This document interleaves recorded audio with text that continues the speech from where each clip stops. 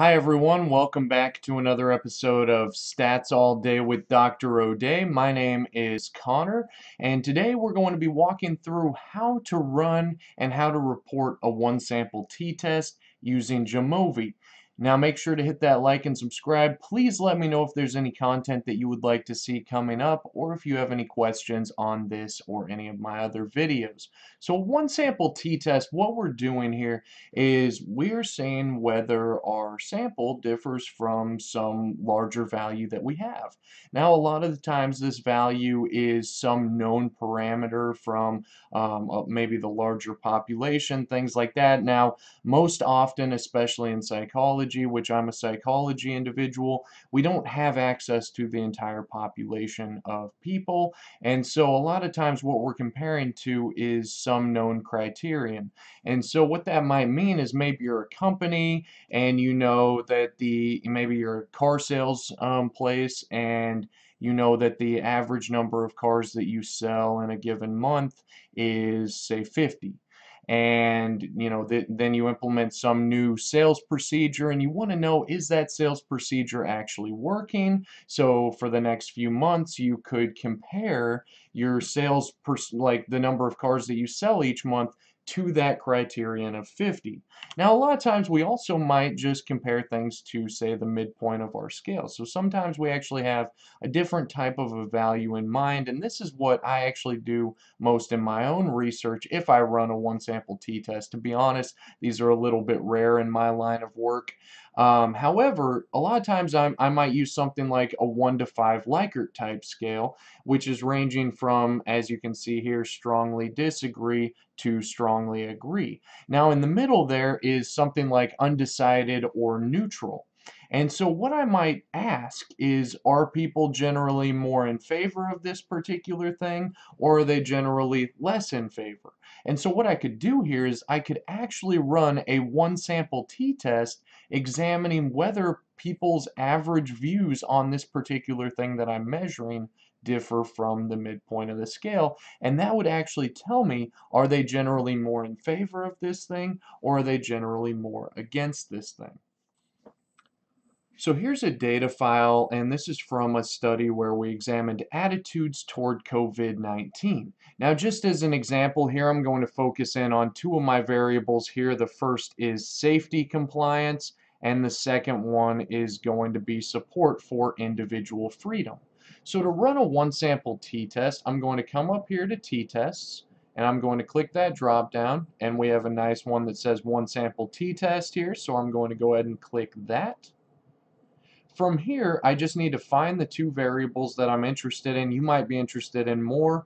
Um, so for me, it was individual freedom as well as safety compliance. So I'm going to move both of those variables into the dependent variable box and that's going to give you some output but we aren't quite ready to look at that output yet because over here I need to specify the test value.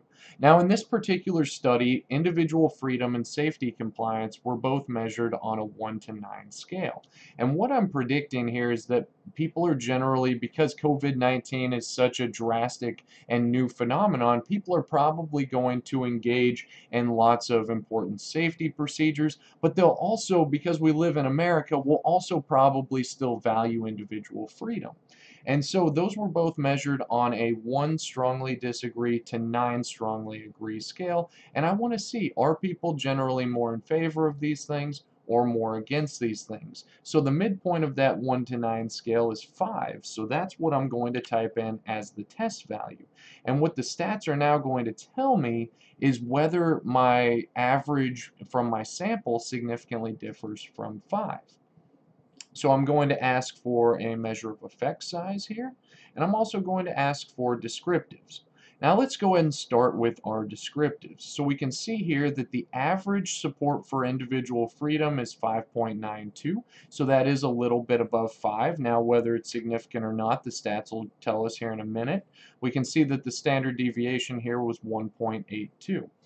So safety compli compliance here, we see that the average score was 7.51. The standard deviation was 1.76. And so I'm thinking here probably this one at least is going to be significantly greater than the midpoint of that scale.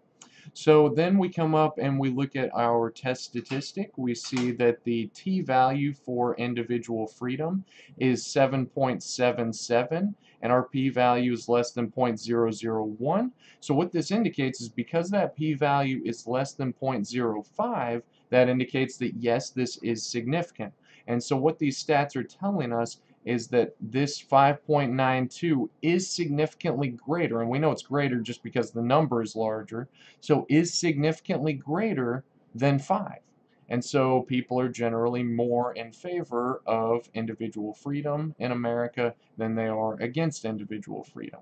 And we see that the effect size, this is Cohen's d, this is a, a standardized effect size here, which is telling us how many standard deviations different that is.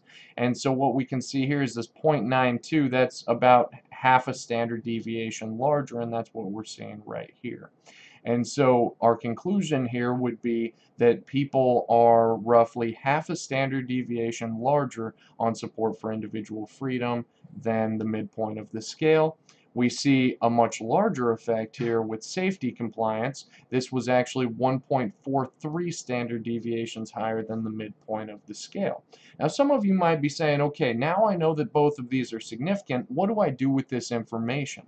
So let's go ahead and let's go and let's write a results section on this. So I'm going to go ahead and pop that over here and I have written out a sample results section that we could use for this. So what I say here, and whenever we write results, we always start with our hypotheses. So we always are starting with those hypotheses here.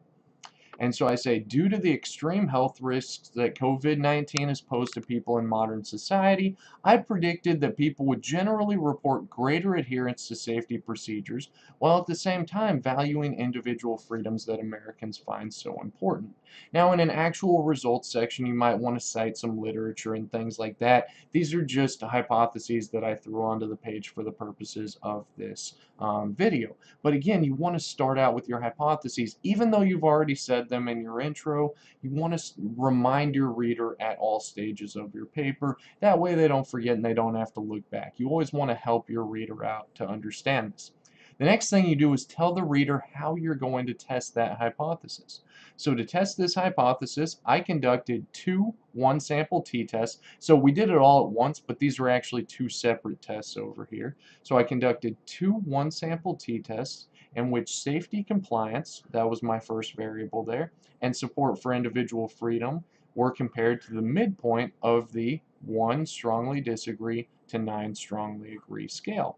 And the midpoint there was 5. So I'm actually telling the reader what I compared these values to to examine whether people were generally more in favor, more against, or more neutral on these attitudes. Now one of the things is I'm giving the reader quite a bit of information here depending on how many words a particular journal might allow, depending on the length of the paper that I'm allowed here, I might cut some of this because it is technically in the method section.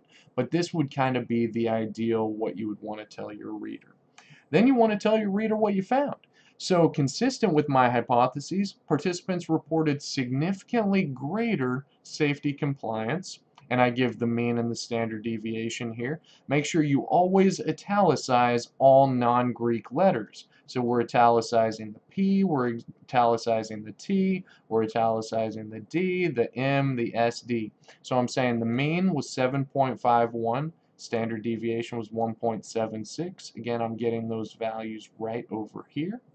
I say T with 233 degrees of freedom you can see that that value was taken from right here is equal to 21.90 which is the statistic right here.